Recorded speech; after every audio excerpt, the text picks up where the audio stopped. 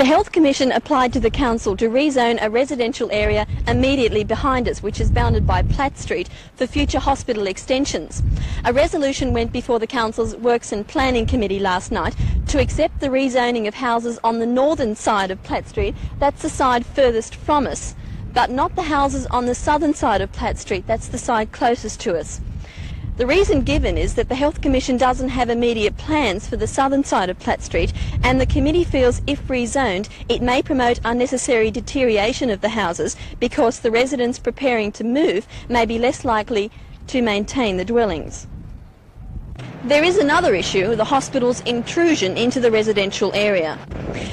The hospital wants that land to extend its facilities to meet the teaching demands of the university's medical school in light of the fact as proposed by the Hunter Regional Planning Committee that the Royal Newcastle Hospital should not be expanded in function because of the strains it places on the central business district. The Works and Planning Committee has deferred a decision on this matter until it speaks with the Regional Director of Health, Mr Geraghty.